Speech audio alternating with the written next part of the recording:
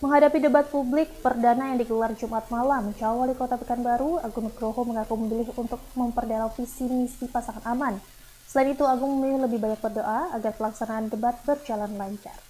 Jumat malam, KPU Pekanbaru akan menggelar debat publik perdana bagi lima pasangan calon wali kota Pekanbaru. Menghadapi debat tersebut, calon wali kota Pekanbaru, Agung Nugroho, mengaku tidak melakukan persiapan khusus. Hanya saja, Agung akan mempelajari kembali visi misi pasangannya agar lebih menguasai saat debat nanti. Selain itu, Agung mengaku banyak berdoa agar pelaksanaan debat berjalan lancar. Menurut Agung, masyarakat Pekanbaru sebagian besar telah menentukan pilihannya, sehingga Agung memilih lebih banyak berdoa agar pilihan masyarakat jatuh kepada pasangan aman.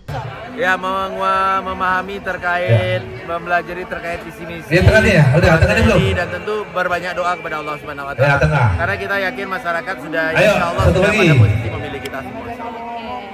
Sebelumnya, Agung berharap agar KPU Pekanbaru dapat memastikan debat berjalan dengan kondusif. Agung ingin para supporter pasangan calon yang hadir dapat menjaga ketertiban hingga pasangan calon dapat fokus dalam debat nantinya. Tim Liputan Ceria TV melaporkan.